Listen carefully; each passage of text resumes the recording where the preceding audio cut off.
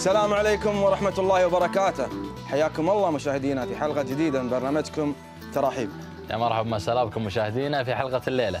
نتوسع في الحديث عن التحضيرات لعيد الأضحى المبارك واللي يفصلنا عنه يوم واحد. عسى الله يعود علينا وعليكم بصحة وخير وسلامة. آمين. إن شاء الله يا, يا أحمد يفصلنا عنا يومين إن شاء الله. يومين؟ بكرة بعد بكرة إن بكرة شاء الله. بعد بكرة إن شاء الله. وبنناقش مع ضيوفنا الكرام صعود حجاج بيت الله الحرام إلى مشعر منى لقضاء يوم التروية اقتداء بسنة نبينا محمد صلوات الله وسلامه عليه. الصلاة والسلام.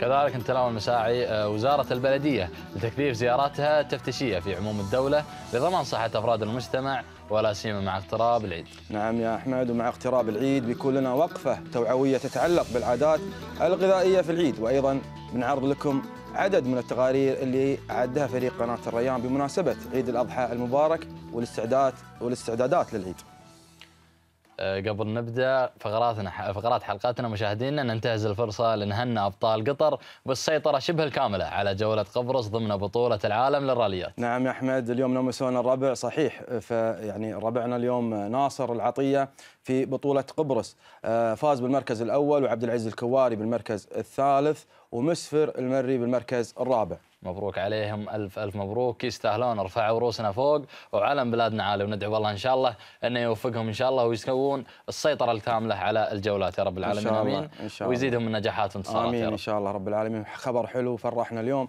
والحديث عن هذا الإنجاز معنا على التليفون. البطل القطري ناصر بن صالح العطية الحائز على المركز الأول. حياك الله يا ناصر. يلا حيه مرحبا بكم والله. يا مرحبا مساء الله يرحب بك يا ناصر. اول شيء مبارك ألف لك يا. ناصر بال- بال- بالفوز هذا بالناموس. الله يبارك فيكم تستاهلون الخير ويعطيكم ألف عافية على هالبرنامج الطيب و... ونقول لكم كل عام وأنتم بخير وإن شاء الله. نتمنى نعيد معاكم هناك إن شاء الله إن شاء الله بإذن الله إن شاء الله رافعين الراس إن شاء الله مبروك الله. عليك وعلى عبد العزيز وعلى مسفر بعد. كلكم مبروك ألف ألف مبروك لو عليكم تكلمنا ناصر يعني بص يعني بشكل سريع شلون كانت أجواء الماراثون وش سبب ال- هذا ال- يعني الرالي أقصد عفوا وشنو سبب ال- الفوز هذا والتألق؟ أه، طبعا يعني أنتم معروف رالي قبرص من أصعب الراليات في العالم أه، لأن المنطقة أه، جبلية وهي جزيرة. طبعا الحمد لله يعني هذا هذا الفوز يعني أه، 11 فوز في في كل سنة نفوز فيه يعني والحمد لله يعني متوافقين في الجولة. والحمد لله الأهم الحاجة اللي اللي انبسطنا فيها فوزنا ببطولة الشرق الأوسط. آه، بعد الجولة الأخيرة اللي راح تكون في دبي إن شاء الله. إن شاء الله. الله يوفقكم إن شاء الله يا ناصر. و... الله يسلمك. يعني لو تكلمنا بعد عن ال... يمكن ال... ال- الراليات اللي جاية في المستقبل الجديدة يعني. آه، طبعا آه، الرالي الجاي هو الأسبوع الجاي إن شاء الله راح نكون في في أسبانيا واللي بعده راح يكون في آه، في دبي. لكن طبعا هو التحضير الكبير اللي آه، قاعد أنا أحضر آه، له. هو رالي دكار الله يسلمك اللي راح يكون في شهر واحد يعني آه، تجهيزات طبعا راح تكون جدا صعبة وتجارب كثيرة فيها لكن الحمد لله يعني الدعم اللي لا محدود آه، من دولة قطر وصندوق الدعم يعني هذا. دائما يخليك آه، تسعى لكل إنجاز. بالتوفيق يا ناصر. ناصر شلون كانت المنافسات؟ شلون كان التحدي؟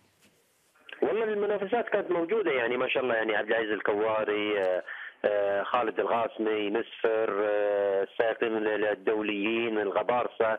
يعني الحمد لله آه، أنا اقتنصت الفرصة من بدايتها. يعني آه، آه، فزت ب 17 ب 16 مرحلة من آه، من الأصل 17 آه، والحمد لله يعني الفارق اللي سويته أمس هو ريحني اليوم لكن طبعا آه، اليوم كانت المنافسة بين عبد العزيز وخالد الغاسمي على المركز الثاني. لكن للأسف عبد العزيز صادع عطل آه، في في السيارة تأخر نوعا ما. لكن آه، ما شاء الله يعني كان دائما ثابت وجوده يعني في في في الرالي. ناصر مو بغريبه عليك ما شاء الله عليك انت دائما ترفع راسنا فوق بكل بطولة ما شاء الله نفتخر فيك يا ناصر الله يسلمكم ارحم والديك ناصر شلون الأجواء. عندكم هناك؟ والله الأجواء اليوم ما شاء الله كانت 33 لكن آه، في الليل ما شاء الله ال- ال- الأجواء باردة يعني آه، لكن طبعا ال- ال- الجو الحين يتغير عن آه، آه، دخولهم يعني يمكن آه، ش- آه، نوعا ما آه، نقول لشتة. لكن طبعا الحمد لله يعني آه، اليوم كانت الأجواء حارة وهذه يمكن ساعدتنا إحنا ك كشرق الأوسط يعني كخليجيين. نعم. ناصر أنا آه، لي أحب السيارات وأحب آه، سباقات السوالف هذه لكن ابى أسألك شغلة هو الحر هل هو يفيدكم أنتم ويفيدكم السيارة نفسها ما يأثر عليها؟ لا السيارة هي طبعا ما يأثر عليها لكن آه، يمكن يأثر على بعض السائقين لأن تعرف ال- السائقين الأوروبيين آه، يتأثرون جدا بال- بالأجواء الحارة. وما شاء الله يعني إحنا متعودين على ال- الأجواء آه، لكن طبعا الحمد لله يعني نجهز نفسنا وعلى قولتك إذا أنت تحب السيارات راح نجيب لك سيارة إن شاء الله تشارك معنا فيها. والله يا- والله يا ليت صراحة أنا ودي أشارك معاكم. إن شاء الله. يعني يعني يا ناصر يعني ما شاء الله عليك وعلى الشباب اللي معاك نومستونا اليوم. ومبارك لكم مرة ثانية وألف ألف شكر لتواصلك معنا. الله يبارك فيكم. كل عام وأنتم بخير. وإن شاء الله يعني راح نفرحكم أكثر وأكثر إن شاء الله. إن شاء الله إن شاء الله. مو بغريبه. عليكم يا ناصر. بيض الله الله وجهكم يسلمك بيض الله وجهك مرحبا الله يسلمك. أحمد تحب السباقات أنت؟ إي والله. ها؟ أنا ما أنا ودي أشارك صراحة. أنا ما أحب السباقات. لا شوف السباقات ما حد يحبها لكن السيفتي مثل سباقاتهم مع أنهم يواجهون خطورة الله يعطيهم خلاص انت. أنت سوق وأنا أحذاك. كذا ما تخليني اسوق عدل الخف وما أدري شنو. في واحد شطني. لا ماني بشاطك أنا لا إن شاء الله أنا وناصر إن شاء الله. والله يا ريت والله ترى من جدي والله أنا خاطري والله. أنا فإن شاء الله. بخاطري كلش. ان شاء الله بحط إذا فزت إن شاء الله بقول لعيون خالد بس تسلم. نعم مشاهدينا الكرام ومن أجواء آه، سباقات الحماس اليوم إن شاء الله الأجواء الرياضة راح يلعب آه، منتخبنا آه، الادعم مع منتخب اليمن الشقيق في بطولة كأس آسيا 2015 إن شاء الله المباراة راح تكون التصفيات راح تكون اليوم إن شاء الله الساعة 7:30 آه، وأيضا في كأس في ملعب ثاني بن جاسم في نادي الغرافة. نتمنى التوفيق إن شاء الله. بإذن الله إن شاء آه، الله. لمنتخبنا بإذن الله إن شاء الله يا رب يرفع رأسنا. أتمنى إن وقفه. الجماهير معاهم اليوم إن شاء الله نبي نسمع كله بطولات وكلها إنجازات. إن شاء الله يا رب. الله الله يعطيهم الف عافية ويشتن حيلهم ان شاء الله. يحققون البطولة. آمين إن شاء الله. ومن أجواء آه، الرياضة إلى أجواء الحج. بدأ حجاج بيت الله الحرام في اليوم الثامن من ذي الحجة في ال- في الصعود إلى مشعر منى لقضاء يوم التروية اقتداء بسنة المصطفى صلى الله عليه وسلم عليه الصلاة والسلام حيث آه، يتوجهون بعدها للوقوف في عرفات. آه، بنشوف التقرير هذا ونرجع لكم.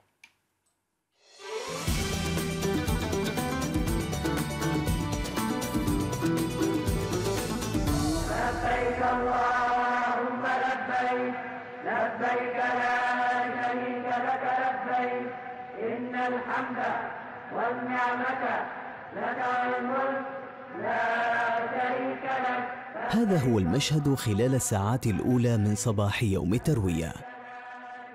الطريق بدا سلسا وأقل ازدحاما على غير العادة بسبب إجراءات تنظيمية غير مسبوقة إضافة لنقص أعداد الحجاج هذا العام. لبيك لبيك لا شريك لك إن الحمد والنعمة. لك والملك لا شريك لك. لبيك اللهم لبيك. لبيك لا شريك لك. والله الحمد لله يعني في فرق بين العام والسنة, والسنة. العام تعرف كان نسبة الحجاج يعني تقريبا ثلاثة مليون والسنة. بسبب آه، تغليص نسبة الحجاج وذي عشان موضوع التوسعة في الحرام وذي. السنة الحمد لله يعني يعني حتى إحنا نلاحظ برا إنه ما في حجاج كثير آه، مثل العام الزحمة وذي. والحمد لله إحنا طلع- طلعتنا من البعثة إلى منى. يعني ال- آه، الطريق سالك الحمد لله يعني لا في زحمة ولا شيء يعني. لبيك لا شريك لك لبيك بصراحة الشعور يعني إذا وصل الواحد الأماكن هذه يشعر بفضل عظيم من الله سبحانه وتعالى أنه يسر له آه، تواجده في هذا المكان. وينظر إلى الناس اللي موجودين عنده. آه، من كبيرهم وصغيرهم كلهم سواسية ما يلبسون إلا الإحرام. فالواحد صراحة شعوره ما ما يقدر أنه يوصفه بكلمات. إلا أنه فضل من الله كبير ونعمة من الله سبحانه وتعالى. ونسأل الله سبحانه وتعالى أنه يتقبلنا ممن حج حجا مبرورا آه، وسعيه مشكورا وذنبه مغفورا في مقر البعثة القطرية بمنى أخذ كل موقعه استعدادا لأيام الحج التي تشكل منى محطتها الأولى وتستمر لغاية ثالث أيام التشريق لغير المتعجل.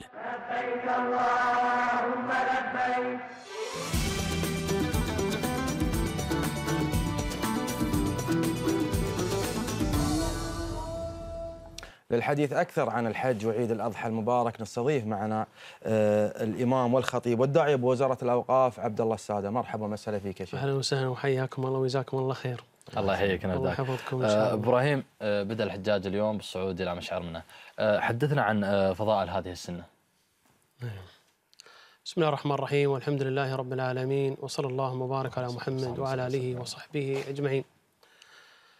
آه، اليوم هو اليوم الثامن يسمى يوم التروية، يوم الثامن يسمى يوم التروية لأن كانوا الحجاج في السابق ما كان في ماء في منى فكانوا في اليوم آه، الثامن يأتون بالماء إلى منى فسمي يوم التروية.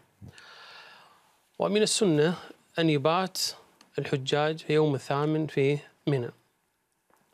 آه، الم- المتمتع يكون وصل إلى مكة اليوم الرابع أو الخامس واعتمر وحل وجلس في مكة حلال اليوم السادس والسابع والثامن. اليوم الحجاج آه، يغتسل غسل الحج ويلبي تلبية الحج. لبيك اللهم حج.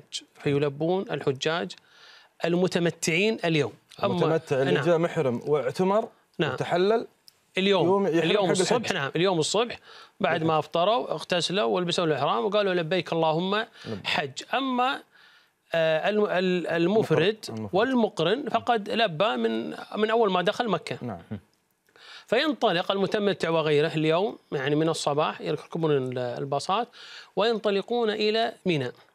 ومنى مشعر من من مشاعر مكة.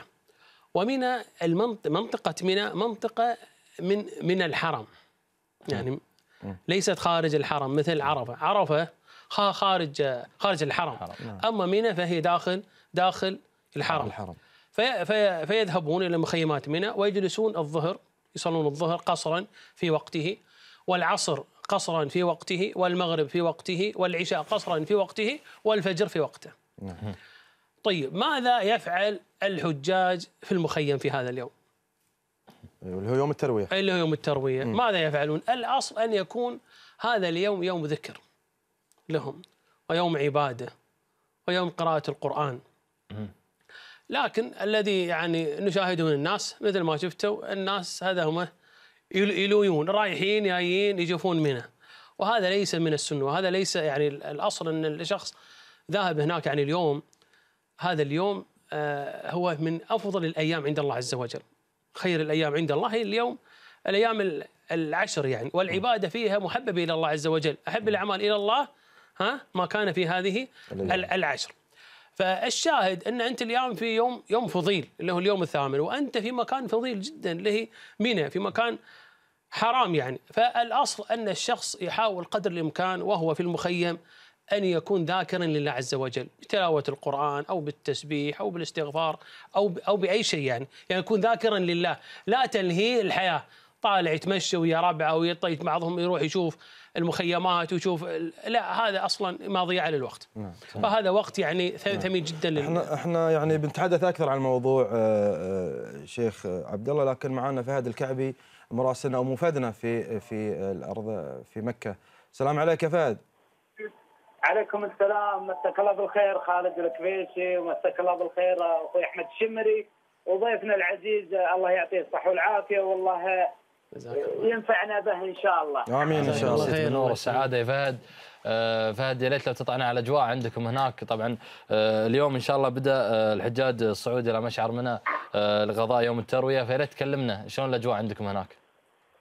أخوي أحمد طبعا قبل بسم الله الرحمن الرحيم امسي على مشاهدينا الكرام غيرهم المنسيين.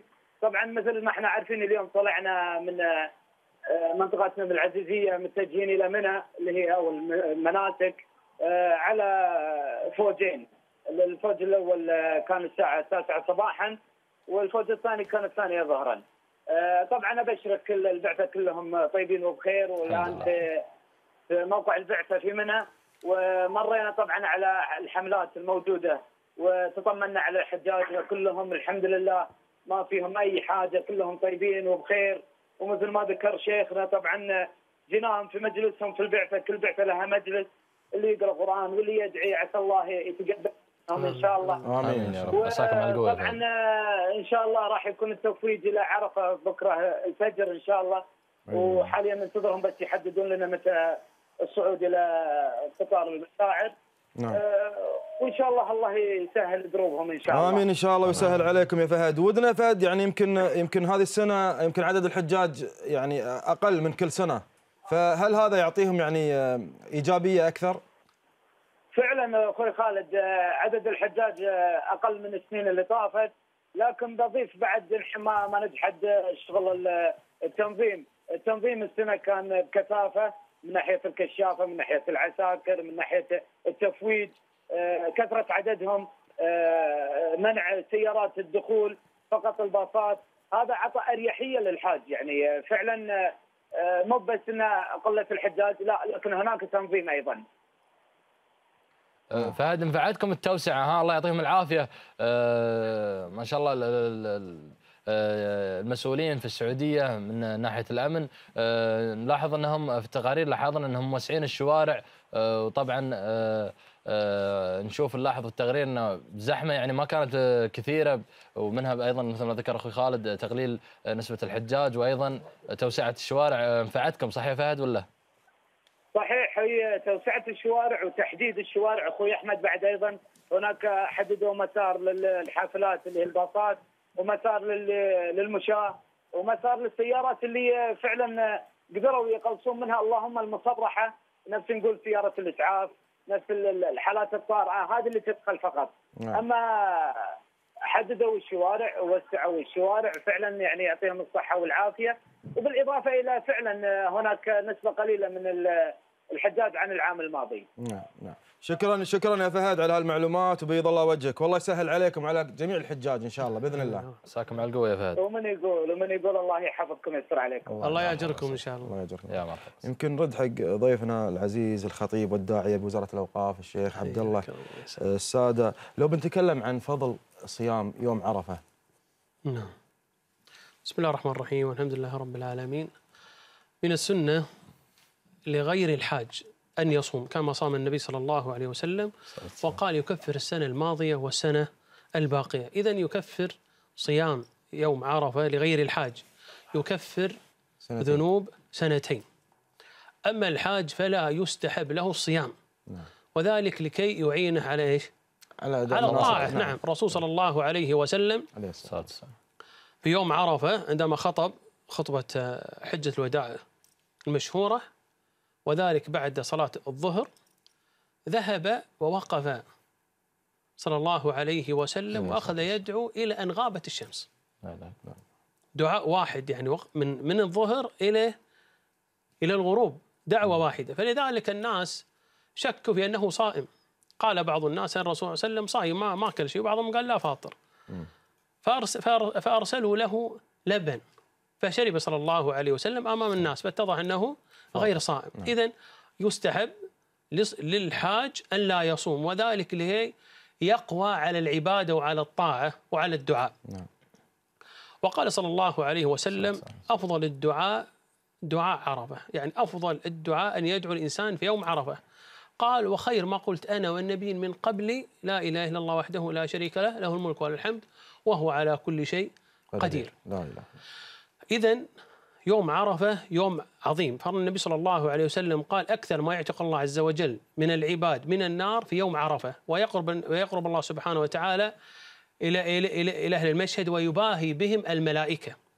فقالوا أن أفضل يوم في العام هو يوم عرفة لكن آه هذا الكلام في يعني في خلاف لأن بعض آه بعض العلماء قالوا أفضل يوم هو يوم النحر. وذلك لنص أن النبي صلى الله عليه وسلم قال أفضل الأيام عند الله يوم النحر. لكن يعني لا خلاف في أن يوم عرفة يوم عظيم جدا. نعم. قال رجل إلى عمر بن الخطاب قال نزلت عليكم آية. اليوم أكملت لكم دينكم, دينكم. وأتممت عليكم نعمتي. لو نحن اليهود نزلت علينا لأخذنا ذلك اليوم عيد. الله الله أكمل الدين. هذا اليوم اليوم ذي الدين كمل. نأخذه عيد نحتفل به في كل سنة. قال عمر رضي الله عنه وإنها لعيد. نعلم أن أنها نزلت في يوم عرفة يوم الجمعة. النبي صلى الله عليه وسلم يوم حج صادف يوم عرفة يوم جمعة جمعة. جمعة فالجمعة يوم عيد وعرفة قالوا يوم عيد لأهل لأهل الموقف. نعم. لأهل الموقف الآن كأنه عيد لأنهم يجتمعون. يعني مع بعض فكأنه عيد. فقال أن هذه الآية نزلت عندنا يوم عيد. فالشاهد أن يوم عرفة يوم عظيم ويوم فضيل جدا. ويفضل صيامه. نعم ويستحب صيام يوم عرفة لغير الحج لغير نعم. الحج نعم. شيخ عبد الله شلون شفت موسم الحج هالسنة هذه؟ خصوصا بعد التوسعة والتسهيلات للحجاج؟ والله أنا يعني آه، ما ما حجيت آه، لكن العام أو أول العام طبعا يعني الواحد ما يقدر يقارن لكن اللي نسمعه من الناس يعني أن السنة أخف بكثير. يعني والأمر أسهل أسهل بكثير. لكن يبي يتضح لنا أكثر وأكثر في قضية آه، الرمي يعني يوم العيد. نعم. حنشوف ردة فعل الناس أو الحجاج. الرمي حاليا الشيخ عبد الله صار أخف من قبل. يعني صحيح. أنا حجيت وكان الرمي القديم إيه. وحجيت والرمي الجديد. ففرق وأنت. ماشي ما توقف. صحيح صحيح. فرق شاسع. نعم. يمكن نعم. يمكن ابو أبراهيم لو يعني تعطينا يعني نصائح اللي تخفف على ال- ال- الحجاج آه، التعب يعني قد ما يعني يعني بعض الحجاج مثلا ممكن يجهد نفسه نعم. من غير داعي. نعم. آه يلا سلمك بعض الحجاج في يوم عرفة إذا ياو في يوم عرفة يقعد شوي في المخيم ويطلع. وين رايح؟ قال والله بشوف الرابع بشوف. الجماعة. لا لا لا بشوف الجماعة اللي في ال- اللي في ال- الحملة الفلانية وبشوف الجماعة الحملة الفلانية. ولا حتى يروح حق حملات دولة ثانية سواء كانت دولة خليجية أو غير فيطلع ويمشي ويمشي ناس ظهر فيمشي ويتعب روحه ما المغرب إلا ما في شدة طايح وبعض الناس يذهب ويتعنى ويتكلف لين يروح جبل إيش؟ جبل الرحمة يوقف. هنا آه. وبعضهم يذهب إلى مسجد نميرة. عشان يسمع الخطبة فأنا نصيحتي للحاج بان يوم عرفة ما يتعب نفسه ليوصل الظهر يريح يرتاح علشان من بعد يعني العصر أو من قبل العصر يقف ويدعو الله سبحانه وتعالى وقدر الإمكان يعني يكثر من الدعاء يدعو إلى إلى أن تغرب الش- الشمس. نعم. بعض الناس مثل ما أقول لك الظهر والعصر رايح جاي ولي قبل المغرب والله تعبان ما ما في شده لا يدعو ولا شيء. فالأصل إن الإنسان يرتاح في يوم عرفة أول ما يجي ثم يقوم يعني ويدعو. آه، شيخ عبد الله في ناس آه، تفضل أنها آه، تصدق بمبلغ من المال لطرش البلدان اللي برا المحتاجة على أنها تضحي أو أنها تذبح الأضحية وتوزعها على الفقراء والمساكين، فبرأيك شنو هما أيهما أفضل يعني؟ الأضحية طبعا هذه سنة نبينا إبراهيم عليه السلام. نعم. هذا الأصل يعني. و وهي مشروعة من الكتاب والسنة والإجماع. قال الله سبحانه وتعالى فصل لربك وانحر. والنبي صلى الله عليه وسلم كما قال أنس آه، ضحى بكبشين أملحين أقرنين. والإجماع يعني قال ابن حجر أجمعت الأمة على أن الأضحية من من شرائع الإسلام. فمجمع الأمة على أن الأضحية مستحبة ليس إجماع على الاستحباب لكنها هي يعني من الشرع.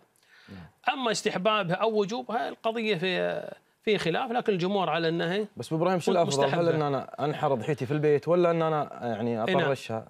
طيب الآن نجاوب على السؤال الأولي ثم نجاوب على السؤال الثاني. الأولي أضحي ولا أدفع؟ طبعا بالإجماع بأنك تدفع المال تدفع المال للأضحية أفضل من أنك تدفع أو يعني تدفع. ثمنها صدقة. لو كان أفضل لفعل الصحابة والتابعين أو تابعين. ما سمعنا بأحد بأنه يعني بدال ما يدفع 1700 يشتري أضحية يقوم يتصدق بها. لا. الأفضل إنك تشتري اضحيه أفضل بكثير من الصدقة بثمنها. نعم. نعم هذا يمكن يمكن بس إبراهيم آه، يعني يقول لك والله مثلا يعني مجازا خلينا نقول إن في قطر ما في محتاجين كثر مثلا خلينا نقول البلدان اللي برا فأنا مش صدقة أنا بدفع شفت أنت الحين ال- إيه، أقول لك هاي موضوع ثاني هاي مسألة ثانية أنا بضحي برا أيوه هل أضحي في مش صدقة، في الداخل. ولا أضحي في الخارج إيه، هاي. مسألة تختلف عن إيه.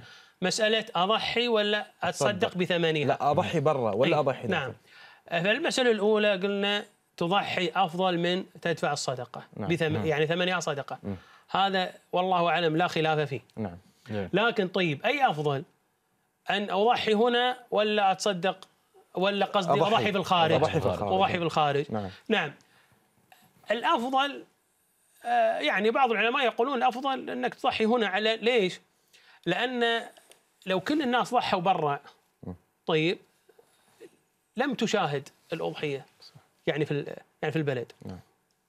هذا واحد وبعدين مسألة الضحي برا والضحي داخل فيها مسائل كثيرة وفيها أمور آه، يعني مثل بعض الناس عشان ما يدفع 1007 يبي يدفع 300 طيب. لكن أنا أقول للقادر طبعا بلا شك في الخارج أحوج.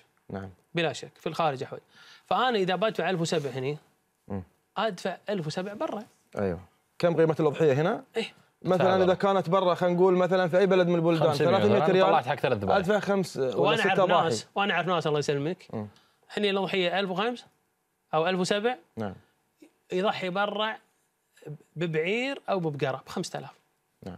الله يجزاهم خير. عرفت؟ جميل. اي فهكذا. فأنت إذا تبي تضحي إذا انت إذا أنت نيتك اطعام الناس برا بالأضحية يا أخي ضحي ببقرة. 1007 يمكن برا تجيب قيمة بقرة ولا اي بير. نعم عرفت؟ أيوه فالأصل. لكن طيب الآن سؤال آخر مثلا أو نفترض إن أنا يا أخي ما عندي 1007 ما عندي إلا 300 ريال. نعم. وأبي أضحي شو أسوي؟ ضح بالخارج. صح. أضحية صحيحة. نعم. إذا ما وتكتب كان لك عنده. أضحية. نعم. نعم. إذا ما كان عنده غير مقتدر يعني. اي يعني أنا والله عندي 300 ريال عندي عندي عندي 250 وبرا الأضحية يا أخي قيمتها 300 ريال.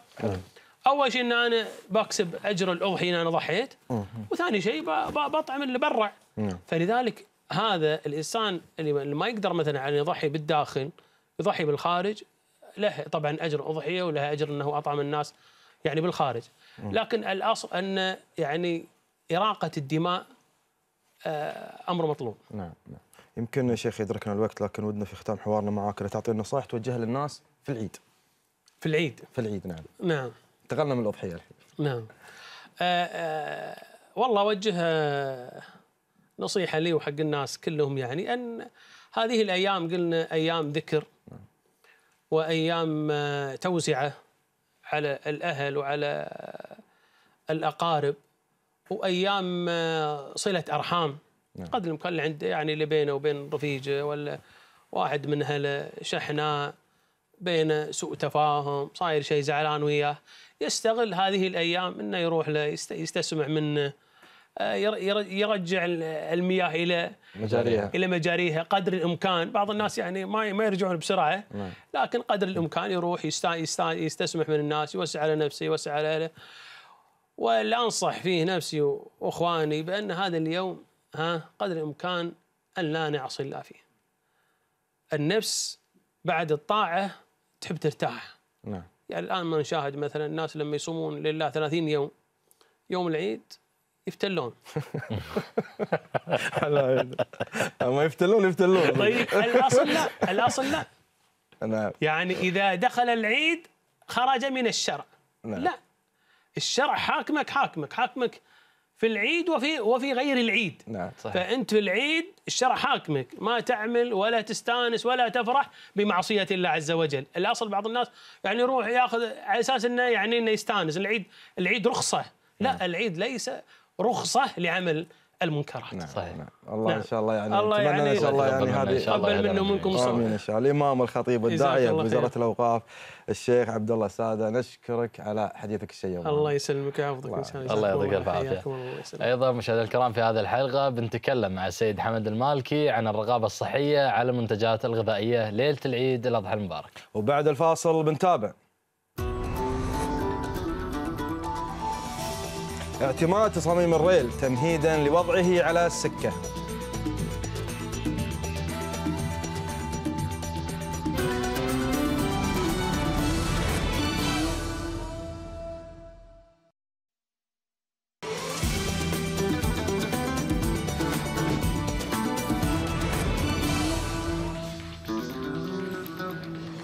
مرحبا ومسهلا بكم مجددا مشاهدينا الكرام. والحين بننتقل إلى الفقرة الاقتصادية واللي تناول فيها هذا الأسبوع موضوع الريل. هذه الفقرة برعاية مصرف قطر الإسلامي. كل دولة تحتاج إلى نظام نقل فعال يسهل حركة التنقل بين المناطق ويخفف الزحمة ويشكل المترو أحد أبرز وسائل النقل النظيفة والصديقة للبيئة نعم يا أحمد وإحنا في قطر ننتظر إنجاز هذا المشروع اللي يشكل جزء من نهضة دولتنا الحبيبة. فأين أصبحت مراحل التنفيذ؟ سؤال يجيب عليه المدير التنفيذي للمشروع المهندس سعد أحمد المهندي في التقرير التالي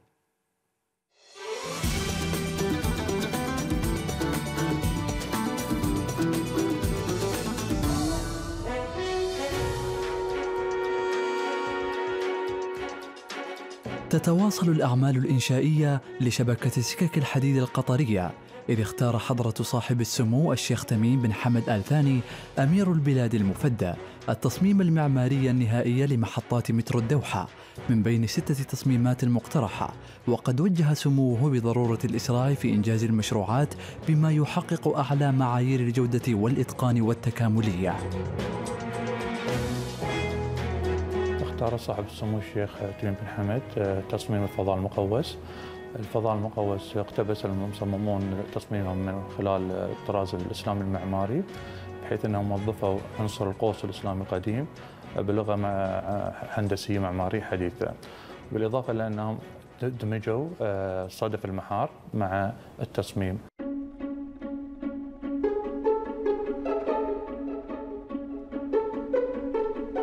في السياق ذاته يتواصل العمل فعليا في عشرين موقعا من خلال أعمال مختلفة فوصل الحفر إلى ناقص خمسة أمتار ما يعد نسبة ممتازة خلال هذه الفترة الزمنية وفقا للمسؤولين عن المشروع. الحمد لله تم اعتماد المرحلة الأولى واللي تتكون من 83 كيلومتر منها ما يقارب 70 كيلومتر تحت الأرض بالإضافة إلى 34 محطة. تم ترسية ال- الأعمال العاجلة للخط الأحمر جنوب والخط الأحمر شمال ومحطة مشيرب بالإضافة للخط الأخضر. ونسبة التنفيذ ما يقارب 2.1% من آه، ما كان مخطط له في اثنين. فالحمد لله إحنا ماشيين على البرنامج. بالإضافة إلى آه، في في مناقصات حتى الآن تحت الطرح آه، منها أنظمة القطار آه، ومنها أعمال الجسور آه، على مستوى سطح الأرض. مراحل تنفيذ المترو. تحققت إثر جولات مناقصات طويلة شاركت فيها مجموعة كبيرة من الشركات العالمية بشراكة محلية وذلك في سبيل الحصول على أفضل الخدمات بكلفة مناسبة. مثل ما الكل عارف أن مشروع, سكك الحديد أول مرة يتنفذ بدولة قطر. وفي جدول زمني ضيق إلا أن الحمد لله تمكنا من طرح جميع المناقصات بعد انشاء اللجنه السرية عن طريق مناقصات مفتوحة أو دعوة مفتوحة. وعلى سبيل هذا المثال آه، بالنسبة للأعمال العاجلة تم طرح المناقصات آه، ودعوة جميع الجهات بحيث أن تو عمل عمل ورشة عمل في 2011 في مايو ويوليو 2011 وبعدها بدينا آه، التأهيل آه، في أكتوبر. واستمر التأهيل لستة أشهر. استلمنا 60 تحالف في أول مرة وفي أول في أول مرحلة من التأهيل تم تأهيل فقط 32 تحالف وبعدين اجتمعنا مع التحالفات هذه كلها وتم تأهيل 18 تحالف وهم اللي تم دعوتهم آه، للتناقص في ال- في ال- في المناقصة. آه، واستمرينا على خلق التنافس هذا لين آه، مراحل التجارية وهذا تماشي مع التوجيهات العليا بضرورة خلق نظام آه، ومنافسة لجميع ال- المناقصات وخلق آه، شفافية في المناقصات. والحمد لله إن إحنا نفتخر في, في, في الريل إن جميع المناقصات اللي تم ترسيتها إن وجود آه، آه، مقاول قطري بالرغم إن المشروع أول مرة يتطبق إلا إن كان حريصين على إن وجود مقاول قطري. والحمد لله تو- توفقنا إن في كل تحالف في مق- مقاول آه، أجنبي مع شريك قطري. مترو الدوحة يشكل جزءا رئيسا من نظام فعال للنقل العام. النظام الذي تحتاجه كل دولة بغية تسهيل حركة المواصلات والتنقل إذ إن الاعتماد على المترو يحد من الضغط على حركة الطرقات ويقلل من انبعاثات الغازات الملوثة. نظام النقل الحالي في الدولة يعتمد على الطرق. عدد السكان عندنا ما يقارب مليون و800 عدد ال- السيارات حسب ال- إحصائيات المرور في 2011 800 ألف سيارة ويزيد العدد هذا 100 ألف سيارة كل عام بما يزيد الزحام والاختناقات المرورية. آه، عندنا ما يقارب 70% و 75% من كثافة السكان يتمركزون في مدينة الدوحة الكبرى واللي تتكون من الدوحة والريان آه، والوكرة. عندنا مشكلة في المواقف عندنا داخليا الطرق الداخلية استيعابها آه، قليل. بالإضافة إلى رخص سعر البترول. إذا شفنا في 2030 آه، سعر البترول كم بيكون؟ هذا سؤال لازم الواحد يتصوره. بيكون عدد السكان ما يقارب 3 مليون و800 بيكون عدد السيارات إذا استمر نفس الوتيرة ما يقارب مليونين و500 بالإضافة إلى أن اقتصاد المعرفة اللي تتبع دولة قطر في رؤيتها بي- بيزيد من آه، الوظائف التخصصية. ونفس الوقت بيكون الطرق ال- الطرق الداخلية بالدولة محدودية توسعتها فإذا آه، قارنا بين دولة قطر الحين في 2030 بنلقى أن عدد السكان بيزيد آه، مرتين. عدد المركبات بيزيد ثلاث مرات. والطرق الداخلية محدودة. فأي مخطط استراتيجي بالنسبة للنقل عنده هالمعلومات وهالحقائق فتوصيته دائما بتكون أن ضرورة وجود نظام نقل فعال وعصري يتلائم مع الرأي الوطنية لتوفير الحياة الكريمة للشعب القطري جيل بعد جيل.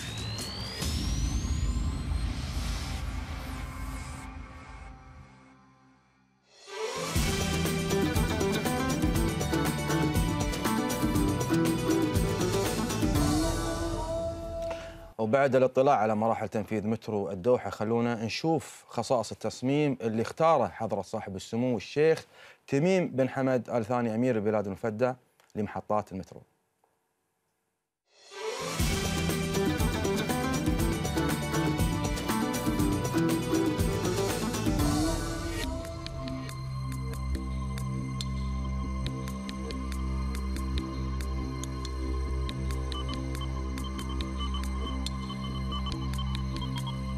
تصاميم اعتمدت بناء على آه، قيم ثقافية وقيم ممتدة من التراث القطري يعني. فطلبنا من الشركات هذه تقدم لنا مقترحات معينة آه، سمو الأمير شرفنا واختار واحد من المقترحات هذه. ال- ال- المقترح اللي وقع الاختيار عليه آه، يستمد بعض القيم من التراث القطري وفي قيم إسلامية وفي قيم أيضا أخرى يعني سواء بالتصميم الخارجي أو التصميم الداخلي. التصميم ال- الخارجي فيه قيمتين رئيسيتين لو لو شفت التصميم تلقى فيه آه، يعبر عن خيام أو بيوت شعر موجودة من برا وفي تقويسات تحاكي الثقافة ال- الإسلامية أو التصميم ال- الاسلامي أو الزخرفه الإسلامية. بالنسبة للداخل اعتمدنا على تصميم بطن اللؤلؤة أو بطن المحارة. ال- المحارة أنت تشوفها من من الخارج وتشوفها شيء عادي أو أو محارة عادية لكن من الداخل ألوانها وفيها اللولو وفيها ال- ال- الأشياء المبهرة والأشياء الحلوة. فكان التصميم عبارة عن شكل خارجي محافظ ما فيه بهرجة ولا فيه أشياء كثيرة، لكن إذا دخلت من الداخل بيكون التصميم يحمل التقويس الداخلي للمحارة بال- بالإضافة إلى الألوان اللي تشوفها في المحارة. وقع الاختيار على التصميم هذا طبعا كان من أجمل التصاميم اللي موجودة عندنا. وبناء على ال- المقومات اللي ذكرناها الشركات كانت ثلاث شركات عالمية والتصميم كان من تصميم شركة هولندية اسمها UNStudio.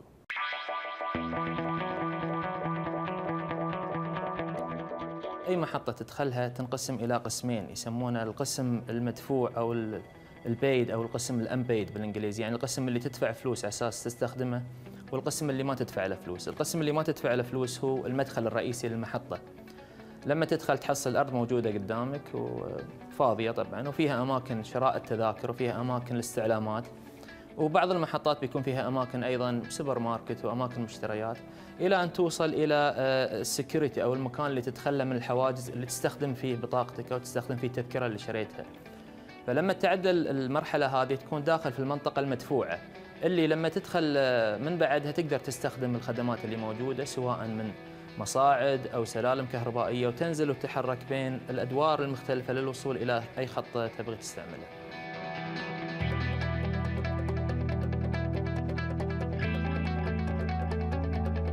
إذا أخذنا جميع المحطات اللي بتنفذ في المشروع في المرحلة الأولى وفي المرحلة الثانية كان التوزيع تقريبا 80% لمحطات بتكون تحت الأرض و20% من المحطات اللي بتكون فوق الأرض، طبعا اللي فوق الأرض موزع إلى محطات على مستوى الأرض ومحطات اللي مرتفعة في الأجزاء العالية شوي عن سطح الأرض.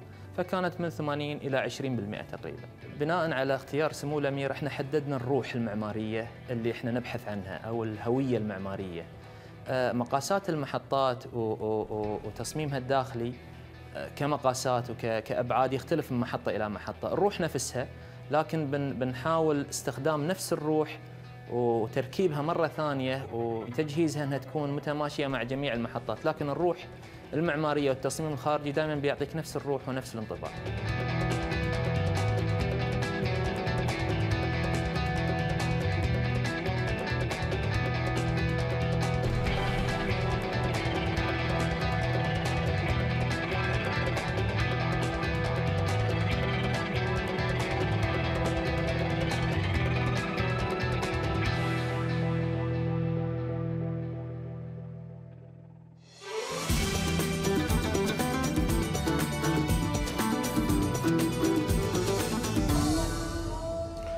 مشروع ضخم إن شاء الله بإذن الله. الله يتمم لنا على خير يا أحمد إن شاء الله وتكون آمين. قطر في أمن وأمان في ظل النهضة العمرانية اللي إحنا نشوفها في البلاد. والله يتمم لنا على خير في ظل قيادتنا الرشيدة بإذن الله إن شاء الله. آمين يا رب العالمين. أنا متحمس والله متى تنتهي المشاريع ونقدر آه، أنا متحمس أكثر شيء للقطار صراحة. إن شاء الله. آمين يا رب. آه، بهذا التقرير مشاهدينا وصلنا إلى ختام الفقرة الاقتصادية لهذا الأسبوع. هذه الفقرة برعاية مصرف قطر الإسلامي. نشير مشاهدينا أن- إلى أن منتخبنا الوطني آه، الأدعم سجل هدفا في مباراته مع منتخب اليمن الشقيق لكرة القدم خلال تصفيات آسيا 2015 وسجل هدف اللاعب خلفان إبراهيم. خلفان وإن عوايده. شاء الله يا رب تنتهي المباراة بفوز منتخبنا قطر. آه، خلفان دائما يتحفنا نعم. آه، بقواله نعم. أنا ح- يا ريتنا يا ريتنا شفنا المباراة. إن شاء الله. يعني عوايده إبراهيم ما شاء الله عليه. الله يعطيه العافية. آه، بالمبارك إن شاء الله. وإن شاء الله تنتهي المباراة ب- بهالنتيجة بإذن الله إن شاء الله. إن شاء الله أكثر بعد. وفي آه، فقراتنا اليوم بنتحدث مع الدكتور هشام السيد عن الأكل الصحي المناسب في العيد. وفي هذه الحلقة بنتابع أيضا.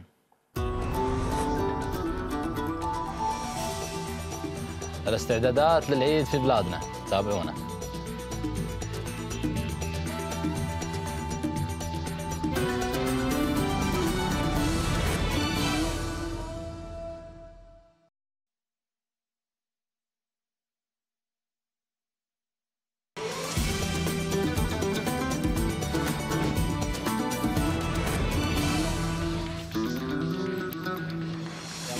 مساء مسهلا مشاهدينا الكرام نجدد التحيه فيكم وضمانا لصحة المجتمع وأفراده تسعى وزارة البلدية من خلال إدارة البلدية في عموم الدولة لتكثيف زياراتها التفتيشية خلال أيام العيد. نعم يا أحمد للتعرف أكثر عن دور الرقابة خلال أيام العيد معنا في الاستوديو السيد حمد المالكي رئيس وحدة مراقبة الأغذية في بلدية الدوحة مرحبا مسهلا فيك يا حمد. يا هلا ومرحبا يا مرحبا بك وبالبداية لتعلمنا كم يبلغ عدد المفتشين آه، اللي يقومون بعمليات الرقابة في العيد؟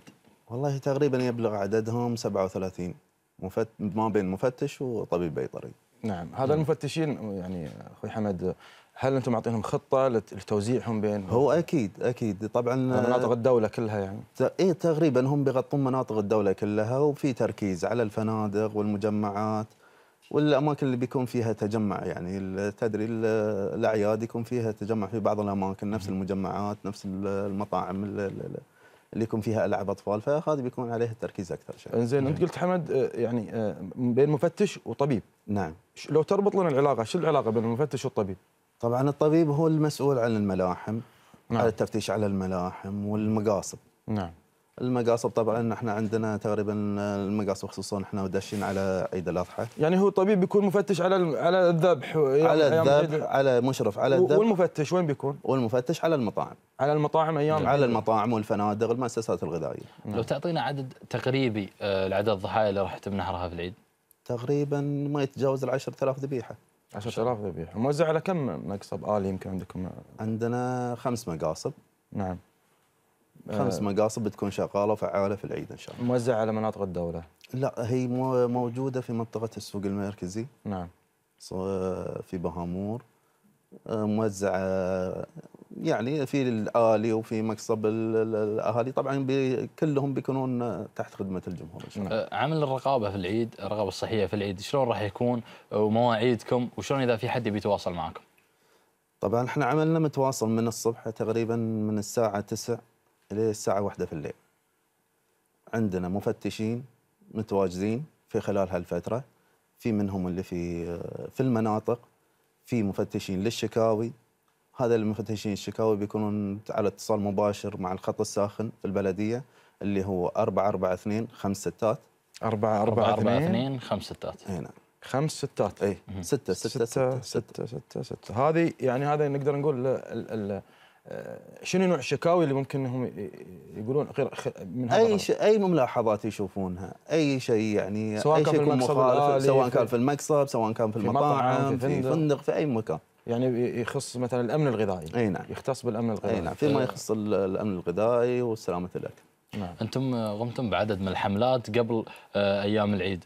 آه، تطلعنا على أجواءها وشلون كانت نتائجها؟ والله شوف إحنا بالنسبة لنا من عيد الفطر وإحنا شغلنا متواصل. يعني من قبل عيد الفطر من رمضان عملنا حملات استعداد لعيد الفطر وكانت متواصلة إلى عيد الأضحى إلى وقتنا هذا. شلون كانت النتائج؟ فالنتائج الحمد لله قلت المخالفات بشكل كبير. جميل. التزام الفنادق والمطاعم التزام يعني ما نبي نقول 100% لكن خلينا نقول 85% 90% جميل. نعم. أخوي حمد يمكن أنا الحين مثلا عندي ضحيتي بروح بروح أذبحها في في المقصد إي نعم. آه، شنو الإجراء المفروض إن أنا اسويه؟ هل يعني يكون مثلا عندك الدكتور اللي موجود آه، متواجد مثلا مثلا من الصبح لين لين متى موجود داخل المقصب نفسه؟ وشلون يعني شنو الآلية اللي أنت تشوف إنه يعني يتم الرقابه على الأضاحي أثناء ذبحها؟ هو بالنسبة حق الدوام آه، في العيد في المقاصب بيكون أول يوم العيد من بعد صلاة العيد مباشرة إلى السبع المساء نعم واللي ثاني وثالث يوم من الساعة 5 الصباح للساعة 7 الليل للساعة 7 في الليل بيكونون الأطباء متواجدين. كل طول, طول الفترة هذه موجود. أكيد أكيد. موجود أكيد. ما في لا ما في ذبيحة ولا ما في ضحيه رايحة تنذبح إن شاء الله إلا بوجود دكتور. وطبعا الدكتور يكون آه، يعني يفحص بطريقة معينة يمكن إحنا أكيد. في عندنا فحص قبل الذبح وفي فحص قبل بعد الذبح. نعم. نعم. اللي قبل الذبح طبعا يشوفون ال- الأضحية يشوفونها ولا الذبيحه يشوفونها إذا سليمة مش سليمة. وبعد الذبح يشوفون الأمراض الداخلية. نعم وفي حال مثلا طلعت ذبيحة فيها شيء يت- يتم عندنا اتلافين نوعين من الأتلاف يا أتلاف جزئي ولا أتلاف كلي. نعم. إذا فيها المرض منتشر ولا مرض معدي أو خطير طبعا يتم إتلاف ال- وتعويض صاحب الذبيحة الذ- كاملة وتعويض صاحب الذبيحة. نعم. وإذا كان جزئي طبعا يشلون الجزء. ال- أي نعم.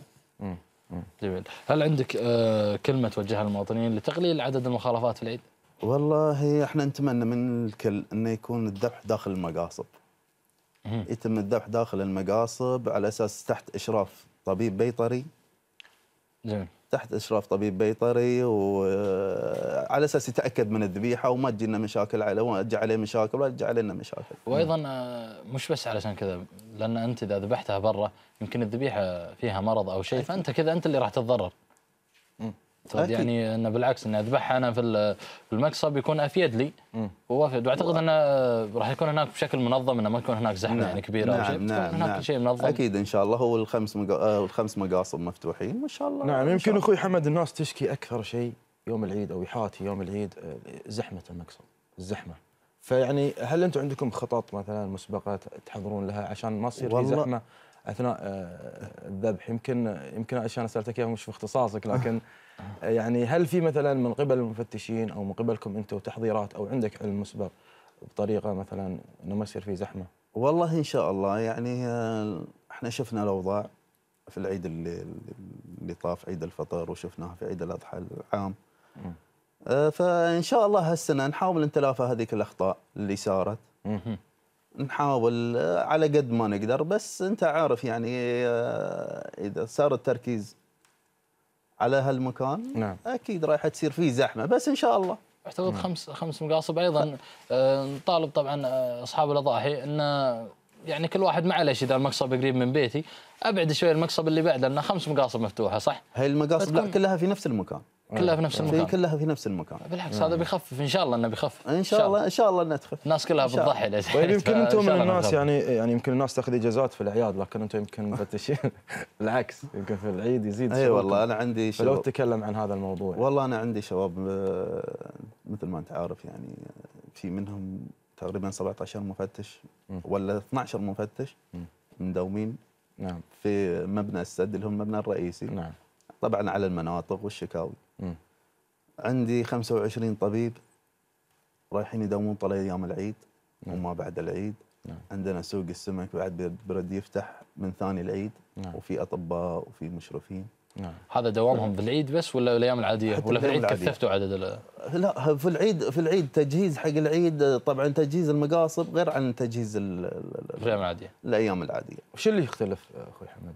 الضغط يعني يكون نسبة الد- نسبة الذبايح نسبة الذبح الجمهور اللي يجونك يعني فأنت يعني تحاول تزيد عدد المفتشين قصدك أنت ولا ولا المجهود لا يزيد؟ أي- نزيد عدد المفت... الأطباء ونزيد ويزيد المجهود لازم نعم نعم فيعني إحنا بدورنا نشكرهم يعني نوجه لهم الشكر والتحية. يعني هم يقومون بدور كبير آه، في الحفاظ على الأمن الغذائي نقول على يعني صحة الناس وهاي مجهود يعني تشكرون عليه. الله يسلمك. هذا واجبنا وبالعكس هذا حق واجب الله يسلمك. الله يعطيكم الف عافية. الله وإن شاء الله نترقب إن شاء الله العيد. أنه يمر علينا بدون زحمة ولا شيء وبعدين حتى لو صادفتنا زحمة يا أخي عيد. تحمل. نعم نعم. تحمل عيد تبي تضحي. تحمل إن شاء الله. وعسى الله إن شاء الله يا رب إنه يعدي علينا هالعيد آه، بصحة وسلامة يا رب وسعادة. سيد حمد المالكي رئيس وحدة مراقبة الأغذية في بلدية الدوحة. الله يعطيك الف عافية. ما قصرت. وشكرا على جهودكم الله يعافيك. والله يجزاكم خير على هالمقابلة ويعطيكم العافية. الله يرحمه. الله يرحمه. التحضيرات لعيد الأضحى المبارك دفعت المواطنين والمقيمين إلى التوجه إلى الأسواق لشراء الحاجيات والإعداد لهذه المناسبة. وفي هذا السياق قامت كاميرا الريان بجولة في سوق العلي للاطلاع على تحضيرات المواطنين للعيد. خلينا نشوف التقرير عن هذه الجولة.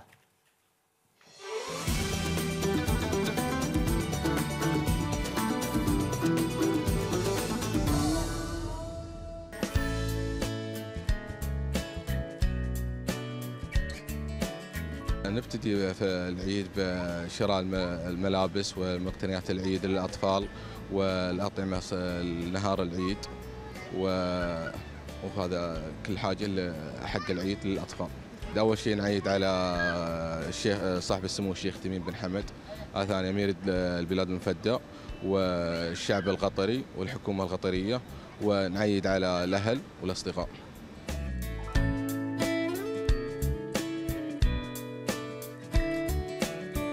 والله بنتحضر أول حاجة. بنجي بنفصل ثياب بنشتري قطر لوازم حق ال- اللي تخص الرجال. إن شاء الله نتمنى من الله ييسرها على جميع المسلمين. وهالحج الكريم إن شاء الله. وكل سنة وهم طيبين إن شاء الله. يعني أنا جاي عشان أفصل الثياب عشان حق العيد. والغتر والعقال عشان أتكشخ فيها.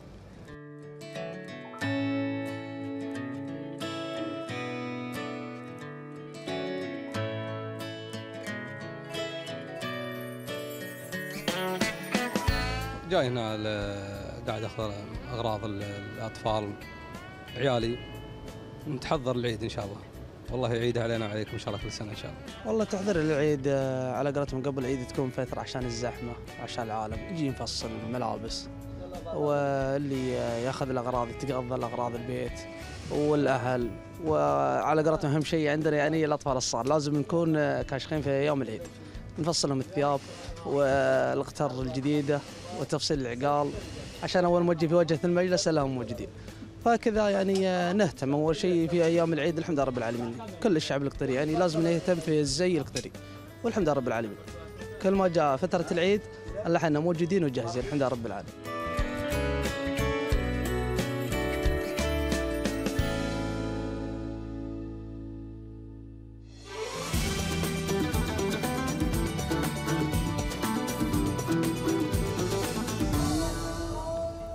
شفت أحمد آه، الصغير أنا عجبني اللي يقول بشتري قطره وقال عشان اتكشخ به ها؟ إن شاء الله يكشخ إن شاء الله. ويقطع بالعافية إن شاء الله. إن شاء الله يا رب. وأيضا مشاهدينا الكرام بهذه الحلقة بنتابع. عيد الأضحى المبارك على الأبواب وكذلك حلوياته.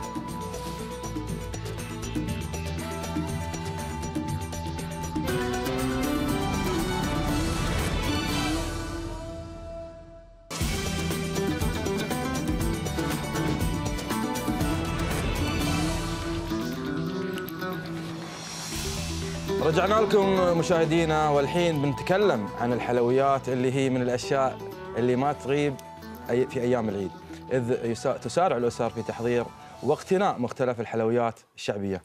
ومنها الشرقية وحتى الغربية وكذلك المكسرات والتي تزين بها طاولة يوم العيد عن هالحلويات خلينا نشوف هذا التقرير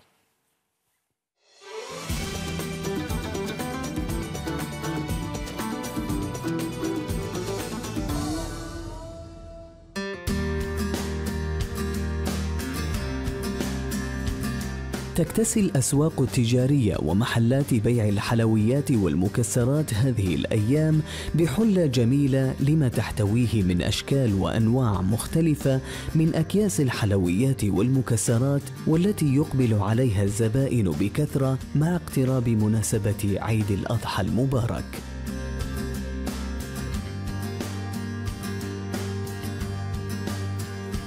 وتتنافس المحلات فيما بينها لتقديم أفضل الحلويات نوعية وشكلا إضافة إلى الأسعار التنافسية وذلك لضمان إقبال أكبر لمختلف الزبائن الذين يحرصون على تزيين طاولاتهم صبيحة العيد بمختلف المكسرات والحلويات واشهاها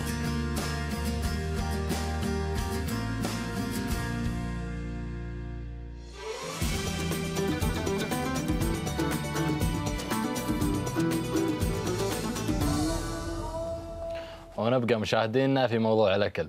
ولأن العيد يوم فرح سرور زيارات فإن العادات الغذائية في العيد تتغير. الأمر آه، وهذا الأمر قد يسبب بعض المشاكل الصحية. نعم يا أحمد. الدكتور هاشم السيد استشاري أول طب الأسرة معنا في الاستديو ليحدثنا عن أفضل العادات الغذائية في أيام العيد. مرحبا وسهلا فيك دكتور. حياكم الله. كل عام وأنتم بخير. وأنتم بخير. وأنتم بخير. صح سلام يا مرحبا بك يا دكتور. بالبداية نبي نعرف الأسباب آه، الإصابة ببعض أمراض الجهاز الهضمي في أيام العيد. بسم الله الرحمن الرحيم. هي الأمراض تقريبا مرتبطة بنوعية الأكل عادة الأكل الدهين أو البروتينات المشبعة بالدهون اللي عادة ما تنطبخ أيام العيد أو صحيح. الحلويات خصوصا الحلويات الشرقية. بعض الحلويات الغربية كذلك فيها نسبة من الدهون خصوصا الزبدة. آه، المشكلة تصير وين؟ تصير لما يقدم الشخص من البداية من الصباح على وجبة دسمة جدا. ومتكونة من البروتين والدهنيات. على سبيل المثال بعضنا متعود إنه الصبح يفطر على مكبوس يا ساتر وين هذه؟ موجودين. والله؟ إيه. الله يعين. فهاي هني من البداية هو مسبب حق نفسه عسر هضم. خصوصا إذا كان صايم يوم قبل يوم عرفة. الشيء الثاني إنه ما عنده برنامج. يعني يجي الصبح ممكن ياكل حلويات يروح البيت الثاني نفس الكلام كيك. البيت الثالث ممكن ياكل بلاليط وياكل بيض. ال- البيت الرابع عصيد. ياكل عصيده. ممكن ياكل خبيص. إيه. فتلقى أنت نسبة الدهون تتراكم معاه لين يوصل الظهر ويجي على الذبيحة بعدين. أيوة. اللي تكلمتوا عنها من شوية. إن شاء الله. فهي المشكلة وين تصير؟ لما تزيد نسبة الدهون والبروتينات يصير عندها عسر هضم وتلبك في المعدة ويقوم يشعر بالانتفاخ والغثيان. خصوصا إذا كان عنده مشاكل صحية من قبل. على سبيل المثال إذا كان عنده حارج تلقاه يزيد. إذا كان عنده قرحة في المعدة أو عنده خلينا نقول التهاب في المعدة يزيد عليه الموضوع. إذا كان عنده مثلا حصى في المرارة تلقاه يش- يشعر بالغثيان يشعر بالاستفراغ يشعر بوجع في بطنه يحس إنه بيزوع. فلازم إنه يحاسب إيش ياكل خصوصا الابتعاد عن الدهنيات بشكل عام. قد يمكن ما يتحاشى المشابيس وما يتحاشى صعب هذا. اللحوم لكن الدهون على الأقل يتحاشاها. فإذا جاء مثلا على المكبوس لا يركز على الرز. وإذا يبي ينعزم ينعزم في مكان إن العيش مو هو مطبوخ في نفس الماي مال اللحم. بحيث يكون منفصل. فنسبة الدهون تكون قليلة جدا. وممكن يرتاح وهو ماكل نعم هذا المفروض على اللي عازمنا إيه اللي عازمنا المفروض ينتبه. اللي بتعزم أحد افصل العيش عن عن المرق عن اللحم. بس يا دكتور يمكن ذكرت نقطة يعني مهمة. يعني يوم العيد يوم العيد الصبح مثلا الواحد يقوم م- يبتدي مثلا يومه مثلا خلينا نقول بروق خفيف لكن أنت ذكرت نقطة مهمة إن في زيارات وكل زيارة في فالة وقدوع نعم. من بيت لبيت فالواحد لازم يحط يحاسب له برنامج. يعني يحاسب أنا- إنه يعني أنا باكل والله في البيت هذا مثلا أو الشيء الفلاني. إي مثلا أو إني أمتنع أو أمتنع لكن نعم. الامتناع هو صعب خصوصا إيه. الشخص بيزعل لأن من عاداتنا انه هنا لازم إيه. تاكل وتتفاول عنده في البداية هو لو يبدأ بالفواكه بحيث المعدة تكون مرتاحة الف- في الفواكه أول شيء. أول شيء. زين. وإذا كان من هنا مثلا الفاكهة المعينة ذي وبعدين الفاكهة الثانية هني والثالثة هني لو وصل على م- يعني مرحلة ال- الغداء أي. يكون شوي الجهاز الهضمي متهيئ نعم. حتى لو شرب شاي أو شرب قهوة ما في إشكال. نعم. حتى لو تناول بعض ال- يعني المعجنات الخفيفة ما في إشكال. لكن نعم. المشكلة إذا بدأ من البداية بدايه قوية. تصدم المعدة. صدم المعدة بالبروتينات وبالدهنيات. نعم. وهنا يصير المشكلة خصوصا الناس اللي عندهم أمساك. فتلقى في في تالي الليل أو ثاني يوم العيد عنده مشكلة. نعم. عنده مشكلة شديدة في دخوله لدورات المياه. ويعاني وقد يصير عنده نوع من التهيج في البواسير أو يصير عنده شرخ شرجي لا سمح الله. فهني إحنا ننصحه إنه يهتم في موضوع الألياف. يعني إذا اضطر إنه والله أنا معزوم كذا مكان وكذا صينية أنا بنزل عليها نعم. كذا معركة بدخلها. هني يجب أنه ينهيها بفاكهة فيها ألياف. مثل شنو الفواكه يعني مثلا البرتقال على سبيل المثال. أي. ما يشرب العصير ياكل البرتقاله نفسها باليافها أي. مش مش بقشرتها أي،. أي. لا، الشيء الثاني إذا كان مثلا ما يحب الفواكه في أشياء فيها نخالة فيها بر. فيها قمح كامل أو فيها حبوب كاملة. مثل على سبيل المثال في أنواع من ال corn flakes مو ابو الديك هذا لا, لا لا. تفهمني غلط. أي. اي في نوع من ال- ال corn flakes مصنوع من النخالة أو البر الكامل. أيوه نعم. هذا إذا اكله الإنسان مع الحليب البارد يسهل عليه مسألة الهضم ومسألة الخروج فيكون مرتاح ما عنده إشكالية. فمن ناحية هو لبى الرغبة ولبى النداء ال- الواجب إنه راح وزار وكفى ووفى وفي نفس الوقت ما صارت له مشكلة في النهاية. نعم. آه، أنا عندي سؤال بالنسبة لأمراض آه، السكري اللي عنده سكري وضغط. آه، أنا عندي واحد من الناس آه، تقريبا أغلبية شيباننا سكري وضغط. نعم. فايش اللي تنصحهم في أيام العيد؟ الابتعاد بقدر الاستطاعة عن النشويات. يعني قد ما تكون النشويات بس حلويات وسكريات ممكن تكون خبز ممكن تكون رز إذا مثلا أنت انعزمت حاول تركز على البروتينات على اللحم أو الدجاج أكثر من أنت تركز على الرز. لأن الرز هو اللي بيرفع السكر عندك والخبز والمعجنات والبسكوت هذه كلها بترفع عندها السكر. المشكلة تصير وين؟ مش عند كبار السن اللي فيهم السكر من النوع الثاني المشكلة تصير عند الأطفال اللي فيهم السكري من النوع الأول واللي معتمد على الإنسولين. هؤلاء الفئة من الناس محتاجين يقيسون إيش قد يأكلون من النشويات؟ يعني الأم عادة هي المهتمة في هالموضوع ولا الأبو مبصوبه ف إذا جاء الطفل بعض الآباء- بعض بعض. الآباء. يلا معلش نستسمح منهم. اذا إذا جيت مثلا تبي تاكل يعني تخلي الطفل ياكل لازم تحسب له. مثلا حبة البقلاوة على سبيل المثال كم جرام فيها من الوزن؟ إذا كانت مثلا 30 جرام 8 جرام. أو 8 جرام خلينا نقول هذه إذا أنت رايح مكان يعني صحي على سبيل المثال. 8 جرام أو 10 جرام بيحتاج مثلا وحدة من الإنسولين. فأنا أقدر أحسبها قبل ما يتناولها الطفل ب 10 دقائق إلى ربع ساعة. فأنا من ناحية ما حرمته ومن ناحية ما هديت له المجال إنه ياكل براحته. نعم. فلازم خير الأمور الوسط. يعني يمكن دكتور هي مسألة صعبة يمكن يوم العيد وأطفال ويروحون. يعيدون وهو في مثلا خلينا نقول الله يكفينا الشر يعني والله يشفي كل مرضى المسلمين وأطفالهم أنه يعني ممكن يكون فيه آه، سكر مثلا. ف شلون يقدر يوعيه؟ هل بالضبط. هل يوعيه؟ هل الكلمة في التوعية. أي. أنت لازم تتكلم مع الطفل وتقعد معه قبلها بيومين ثلاثة. ترى يا يوبا بيصير كذا كذا كذا. بتنعزم في اليوم الفلاني في المكان الفلاني على كذا وكذا وكذا. أنت حاسب. إذا أنت تبغي مو مشكلة. قول لي أساسا نر- نضبط لك مسألة الإنسولين لأن المشكلة تصير وين؟ لما يرتفع السكر عند الطفل من النوع الأول قد يصاب بتسمم كيتوني قد يفقد الوعي. أيوه هذا يدخل في مشكلة. وهو بعيد عن أمه وأبوه يمكن قاعد يعيد مع اليهال بالضبط. فهني يجب أن يكون هناك نوع من التوعية ونوع من التفاهم بين الآباء دخلنا الآباء ها؟ إيه، والأولاد. اي بعض الآباء. مركز على بعض الآباء. يصير نوع من التفاهم لأن الطفل الحين مو مثل الطفل الأولي. نعم. الحين واعي فاهم ويكون يعني قام إلى عدة زيارات لطبيب الأسرة مثلا وفهم موضوع الإنسولين وكذا ولكن يظل في نهاية الأمر هو طفل. فيجب أنه يكون حذر في التعامل معه ويكون يعني ما أضغط عليه وايد ولا أترك له المجال أنه هو يتحرك بسهولة نعم دكتور يمكن يعني يمكن تزيد أنا أقول أمراض ال- ال- الجهاز الهضمي أو يعني أكثر من الأيام. في العيد أكثر من الأيام الثانية ف فيعني يمكن تزيد الحالات في المستشفيات صحيح. بحكم أن أنت موجود دكتور في في المستشفى لكن لو إحنا بنتكلم عن مثلا أدوية انت تنصح فيها لتجيم هذه الأعراض مثلا عسر الهضم قبل الأدوية في مو بس الجهاز الهضمي حتى القلب والدورة الدموية. في كثير من الناس خصوصا كبار السن آه، الأكل الدسم يعتبر من الإجهاد اللي تتعرض له عضلة القلب. وإذا كان عندها قصور في الشرايين التاجية قد يصاب يصاب لا سمح الله بذبحة صدرية. فيجب أنه نتنبه إن كبار السن يبتعدون الأكل الدهن. نعم.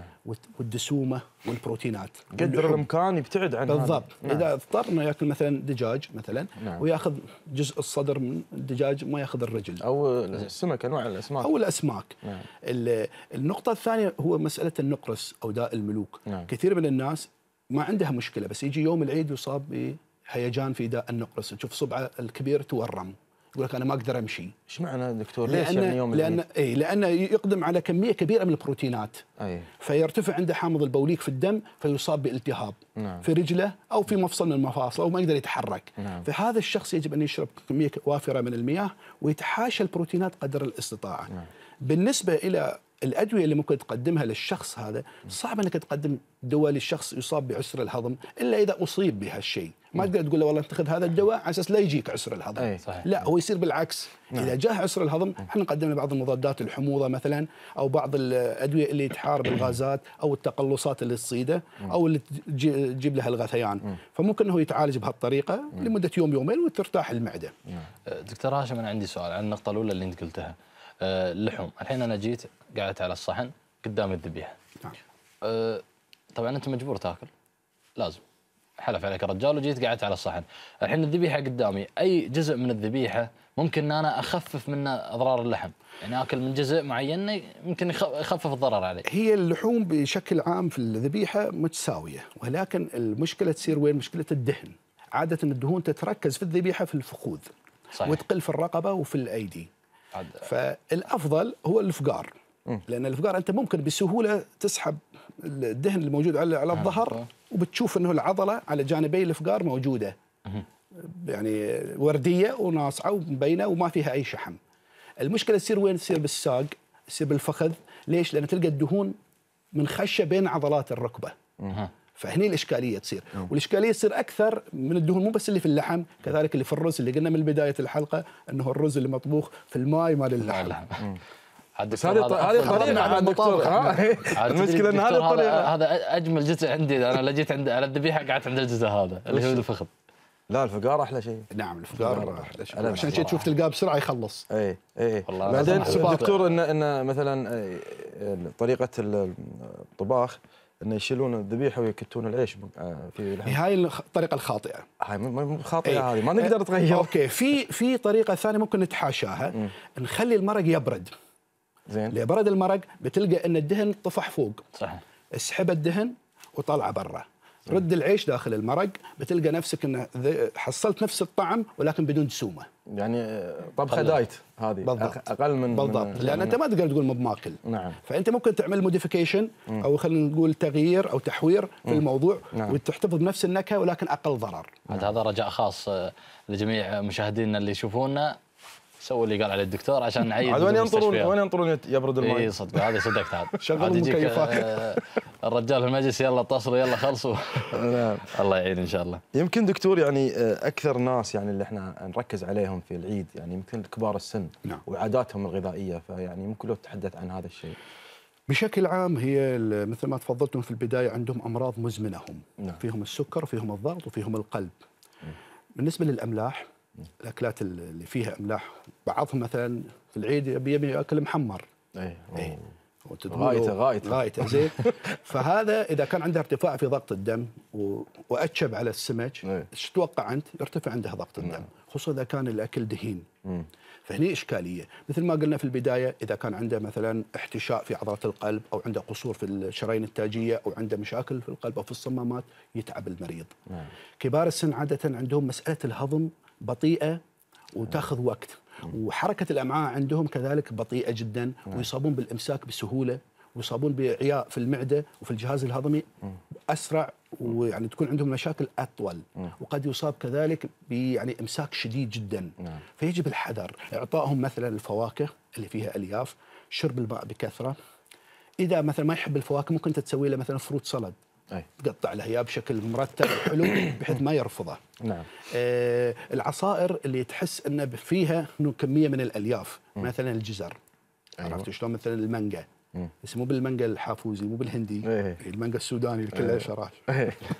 فاي شيء تحس منه انه فيه ألياف بيفيده نعم إيه.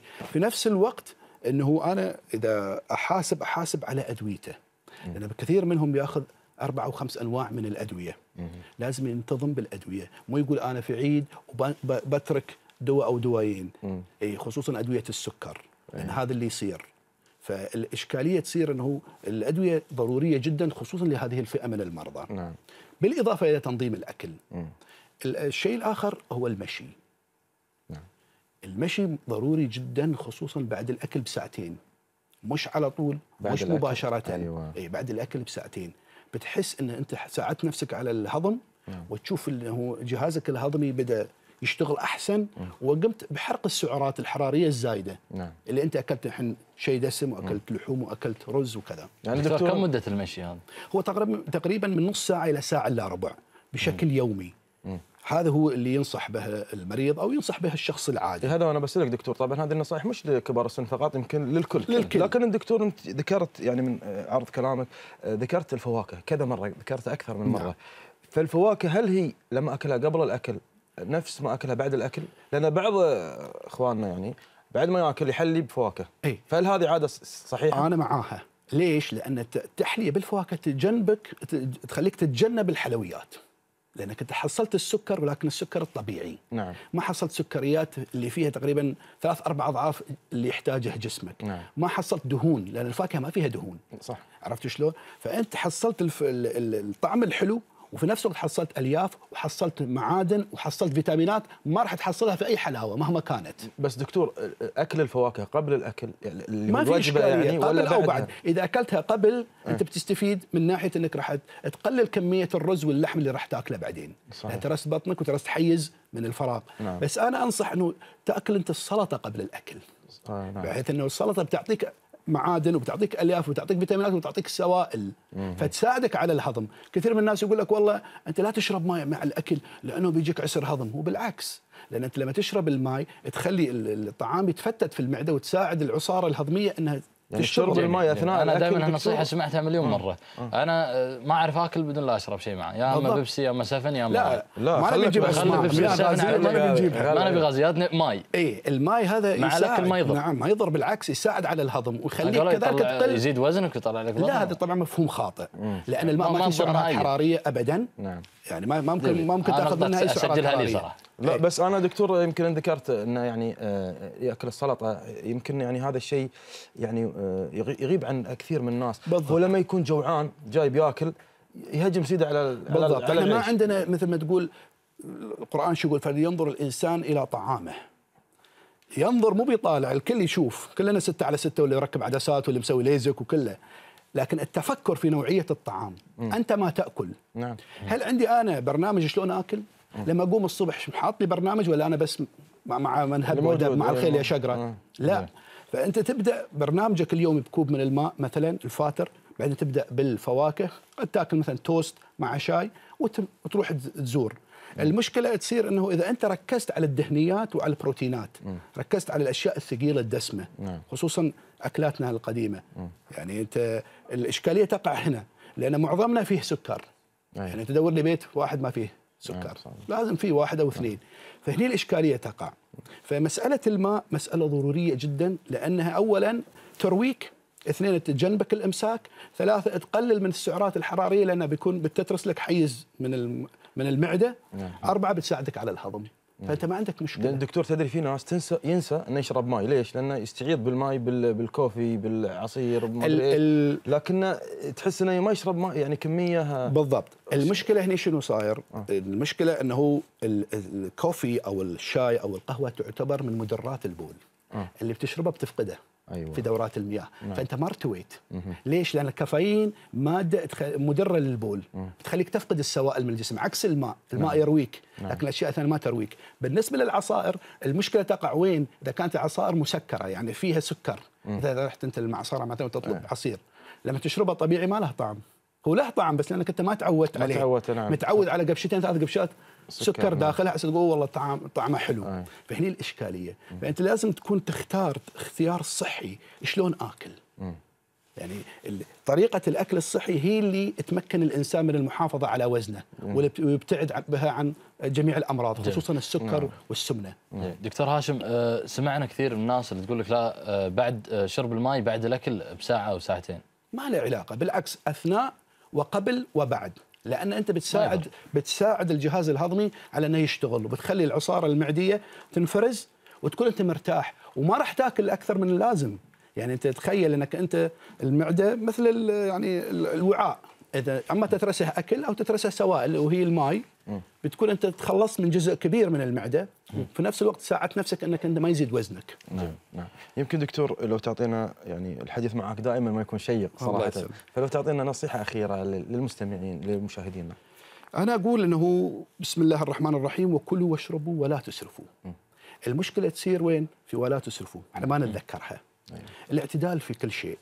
أوكي أنا بمتبوس أقدر ولكن شلون آكل؟ أركز على اللحم ما أركز على الرز.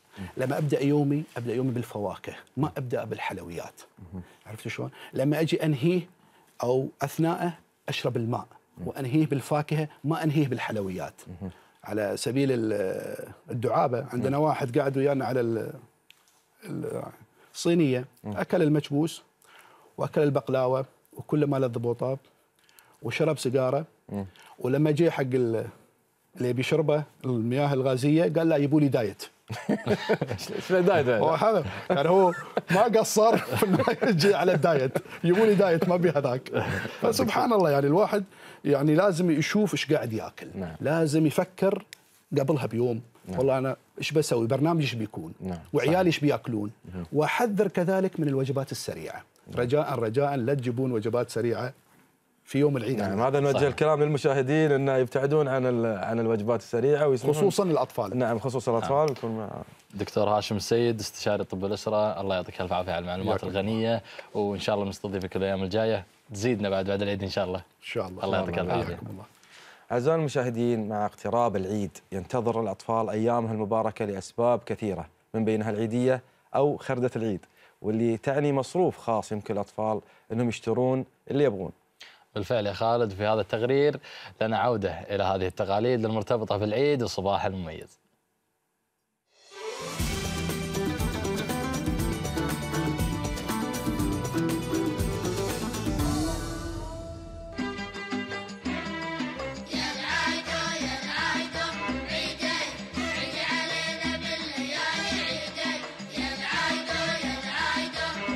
خردة العيد أو العيدية.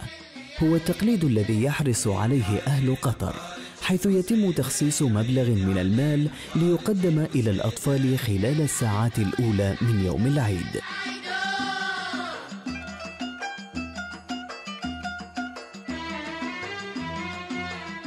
ويقصد المواطنون البنوك والمصارف قبل إجازة العيد الرسمية لضمان تأمين المبالغ المطلوبة كما تعمل البنوك على توفير عملات ورقية جديدة من مختلف الفئات لكي تمنح للأطفال الذين يتسابقون على زيارة الأهل والأقارب من أجل جمع أكبر مبلغ من العيدية وهو ما يخلق جوا من المحبة والألفة والتواصل.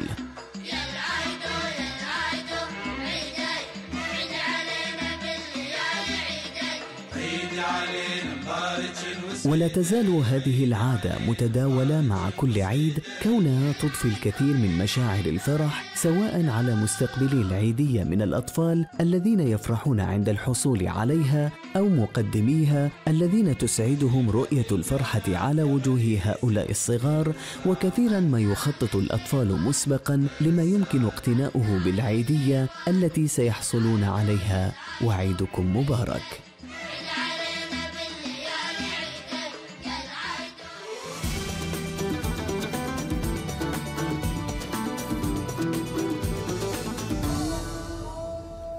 حلو هالصباح يا خالد. نعم يا أحمد وإن شاء الله الله يعيد علينا كل سنة إن شاء الله بخير. ويعني نقدم نصيحة لإخواننا آه، يعني السائقين يوم العيد نشوفون الأطفال في الشوارع وبين البيوت مستانسين وفرحانين ويعيدون. فيعني نرجو منهم أخذ الحيطة والحذر ما تدري إيش يصير يعني ويكون العيد إن شاء الله عيد فرحة علينا كلنا. على هالقطر كلهم والمسلمين أجمعين بإذن الله إن شاء الله. آمين يا رب. يبعدنا عن الأخبار اللي تضيق صدورنا. إن شاء الله. آمين يا رب العالمين.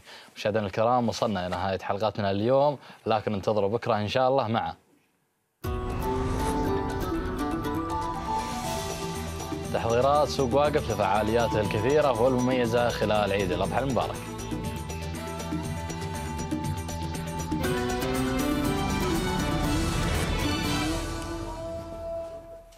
وقبل ما نودعكم أعزائي المشاهدين نذكركم بأنه آه، بعد ترحيب تشاهدون شاشة الريان أو بتشاهدون على شاشة الريان برنامج هل الفزعه في موسمها الثاني الساعة ثمان ونص واللي نشاهد خلاله شرطة الفزعه خلال ادائهم واجبهم في السهر على حماية وراحة هالقطر والمقيمين على أرضها. والساعة 10 إن شاء الله بنكون مع إعادة لبرنامج الريس الموسم الثاني. سيستضيف خلالها الزميل سعد العتيبي مجموعة من المختصين في مجال سباقات الهجن ويطرح قضايا تهم آه، مضمري وملاك الهجن. يتحدثون من خلالها أيضا عن السباقات اللي تم المقرر أنها تبدأ في 16 أكتوبر الجاري. نعم بإذن الله. والحين أعزائي المشاهدين وصلنا إلى نهاية هذه الحلقة. من ترحيب لأي اقتراحات أو استفسارات وللتواصل مع فريق عمل ترحيب يمكنكم متابعتنا والمشاركة عن طريق تويتر آه، من خلال هاشتاج برنامج تراحيب موعدنا معاكم القابلة مشيئة الله في حلقة جديدة من برنامجكم تراحيب انتظرونا ومع السلامة. مع السلامة.